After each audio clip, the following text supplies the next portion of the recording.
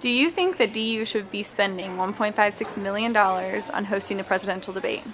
I think that it's wonderful that we're hosting the debate, but that's kind of a lot of money, and I'm sure the university has money set aside for these kinds of things.